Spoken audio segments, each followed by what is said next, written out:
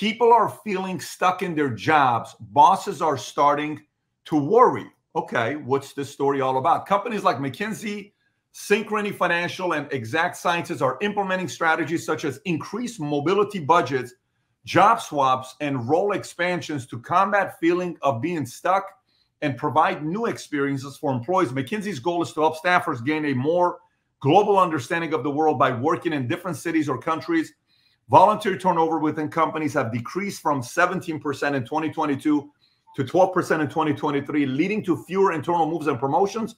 This has resulted in lower regrettable turnover and fewer opportunities for career advancement, causing frustrations amongst employees. Companies like Allstate are prioritizing internal recruitment by setting up career focused conversations and creating tools to, to see open projects within the company. This strategy aims to fill more roles internally, with Allstate increasing its internal hires from 45% to 60%, showing that the company values employees' career progression. Tom. So, company, look, this is the unintended consequence of work from home. And let me paint the picture for you.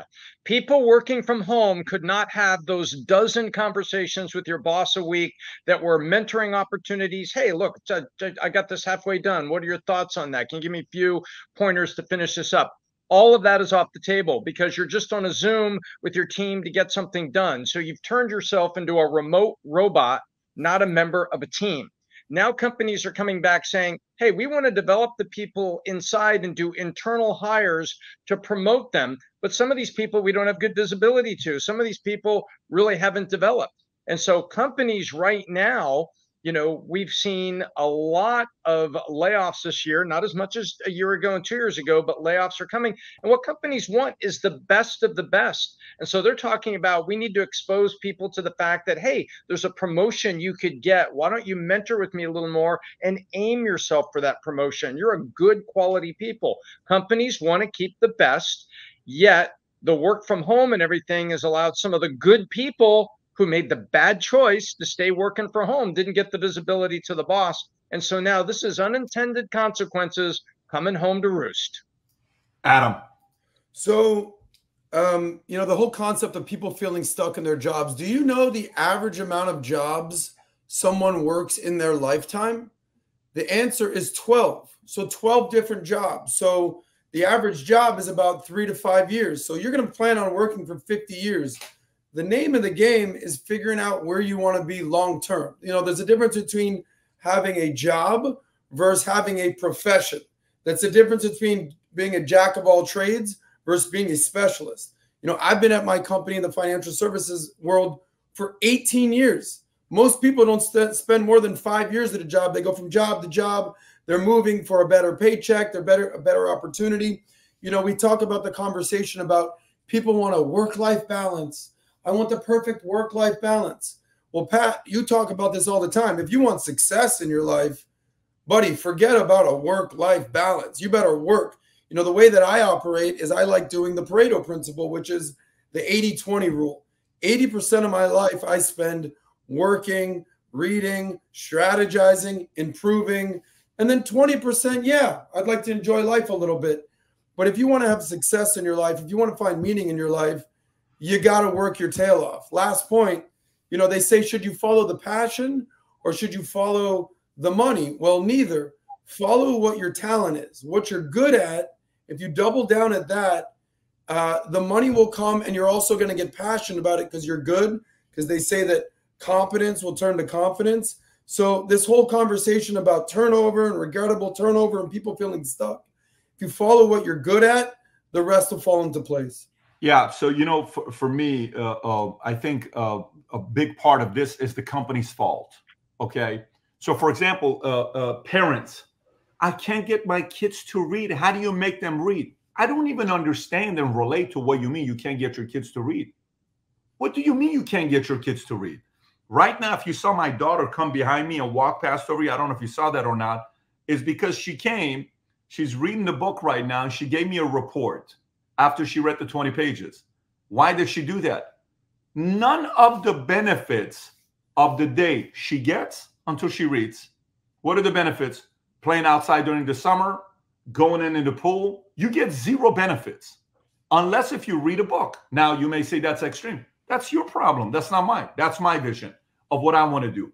But when I'm sitting there and I'm having conversations with my kids and I'm enjoying the conversations, when they're pulling up stories that I didn't even know about, did you know such and such person in 1850 did this?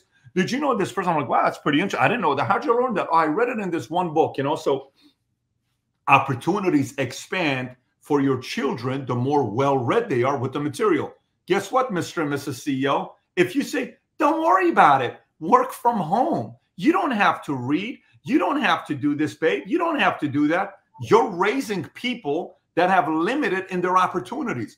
All of this rises and falls on leadership. I had a conversation the other day with one of our, uh, uh, uh, not one of our, all our managers this week. Tom, you remember this conversation where we're going back and forth with philosophies on how to manage new people that come on board and not not just anybody that comes on board like new executives and directors that come on board and it was like well so so tell me how are you managing this one employee? So well listen this is how i work. I expect you to come in and get the job done. You're already an executive. I expect you to come and do what you're doing. And then you just report to me how the update's going. That's what i expect people to do. I said that's not the way you lead. Why, why isn't that the way to lead? I said listen one day, I'm in uh, uh, uh, Nashville, Tennessee. Me and Tom were at this event. This is probably 10, 11 years ago, maybe even longer. And uh, Mark Cuban is one of the speakers. I asked Mark, Mark, what's the book that made the biggest impact in your life? He said Atlas Shrugged. He's distanced himself a, a lot from that lately with his DEI stuff. But uh, he said Atlas Shrugged. Then I said, Mark, all these companies you bought, you know, many executives, CEOs have seven to 12 direct reports, some 15 direct reports, right? You have 56 companies. That means you have 56 direct reports of CEOs. How do you manage them? And he said something interesting. He says, I micromanage until I trust. Too often we trust, then we micromanage. Let me give you the two sides of it. If you micromanage until you trust, what you're telling the new employee or the new executive is listen, I trust your resume so- uh, solid, but I don't trust the fact that you fit our culture 100% yet. That's going to take a minute. So, what did you do today? What project are you working on? How did a meeting go? Give me an update throughout the week. What happened over here? Let's have daily huddles. What happened with this part? Because I'm micromanaging you until all of a sudden I'm like, okay, how would you handle that situation? What do you think about what happened? What's your approach? Well, I'm going to let them work from home for a month. That's not our culture. So what if I don't have that conversation? I'm not micromanaging. He makes that decision. She makes that decision. Then I'm like, why did you do that? And it's like, well, you told me you trust me. So I made the decision of trust. Oh, I never said that. That's not what I meant. Friction, friction, friction, fire layoff. Again, these are mistakes that we've all made, right? So then the other conversation was about, you know, when sometimes managers will hire people in their teams, or when sometimes, like in my insurance company, you know, you'll hire a new executive and a new executive will come and they get a team of 30 people that's on their team, right? And the executive will, will find a way to win these 30 people over. And they'll use language like the following Listen, I understand you. We're compliance, we're engineers, we're technology. Not everybody understands you. Pat's not engineer, Pat's not technology, Pat's not compliance. He doesn't understand you, but I do. And I have your back. And as long as this, they're leading you like a mother does, like just like mommy and these kids, and you're shielding them, right? And when you shield them, what happens? Opportunities are limited. So you're running a corporation, you're like, oh, don't worry, I understand the work from home principle. These executives don't get it. These rich millionaires and billionaires don't get it. We understand we have families. All these guys care about is money, but I care about your mental health. I care about your emotional health. Give me a flip and break. You just destroyed their career. You wasted four years of opportunity for them. And now you're sitting around saying what? Now you're sitting around and saying, well, we are feeling stuck because bosses are starting to worry. No shit, you're worried.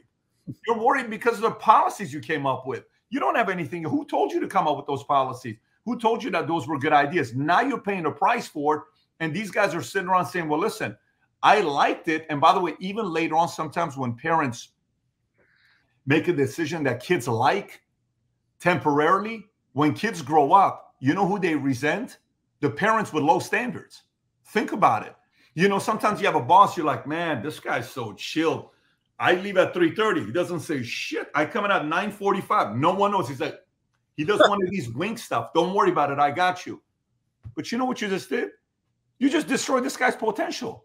You destroyed this guy's upside. Why would you do the wink wink manager because you're so concerned about having people like you? Five years is gone. That's it. You lost five years. So if you got 40 years of running, one eighth of it is wasted because you had a lazy ass boss with low standards. And a lot of these companies are experiencing that.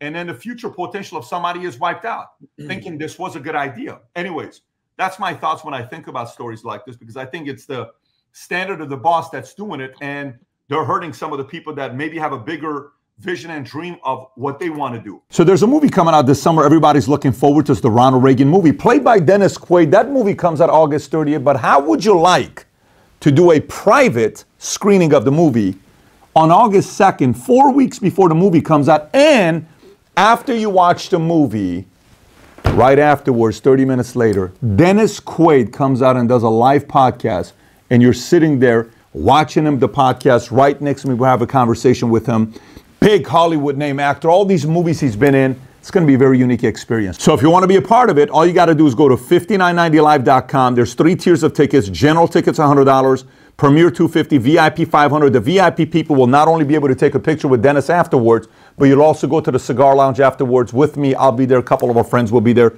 So if you want to be a part of it, click on the link above below or go to 5990 Live, get registered. We'll see you there on August 2nd, 5 p.m. in Fort Lauderdale. So if you like this clip and you want to watch another one, click right here. And if you want to watch the entire podcast, click right here.